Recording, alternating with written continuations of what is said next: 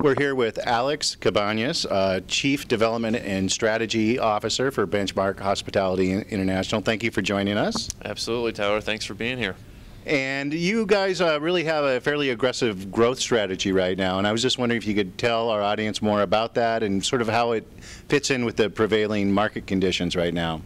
Uh, you know, Tyler, we're really thinking about um, a number of a number of factors in our industry that are converging to the benefit of a company like Benchmark that thinks very entrepreneurially about our properties, uh, tries to create a unique sense of place, um, a unique destination, is very focused on the local and regional market, and has incredible expertise in the meetings and uh, and conference center business.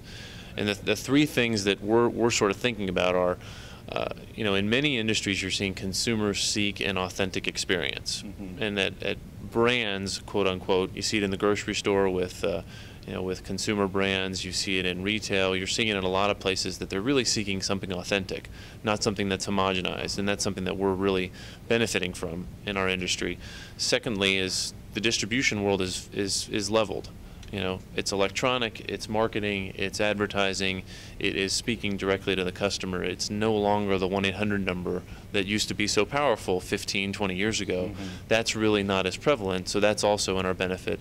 And lastly, is the ownership community of the types of properties that we manage are more and more seeking a management company that absolutely speaks to them and focuses on them as the customer set with the benchmark brand as a secondary position to the property brand and to the ownership's desire to maximize the value of that property. So we don't think about benchmark as uh, we think about it as a as a value enhancer to the owner who owns the property.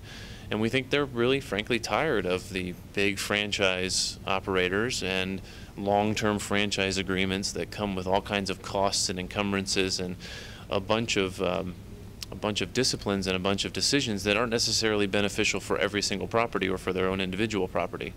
So all of those kind of three things, the consumer, the distribution, and the capital markets are all converging in a way, all at different time periods too, to really benefit the business model that we have and the particular niche in the industry that we own. And you've picked up a, a few more properties just recently. Yeah, we picked up four properties in the last six months uh, in uh, in four great locations. We uh, we picked up a property in Maui, uh, one in Orlando, uh, one in Miami, and one in Houston. And in, in all cases, you know, two two projects were immediate referrals uh, from properties that uh, that were successful in those markets, and we were referred by somebody in our business. Uh, one was a relationship we had for 12 years that eventually culminated to uh uh finally taking it over, a project in Orlando. And one was in our backyard where, um, you know, a consultant that had worked with us before heard of an owner who was managing it on his own independently and just couldn't turn the pages fast enough to really adapt to our industry and the sales and marketing that was needed.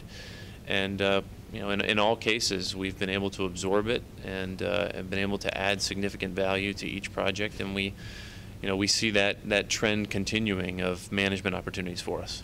Well, great. Thank you for your time and uh, good luck on everything, and I'm sure we'll hear more soon. Great. Thanks, Tyler. Appreciate it.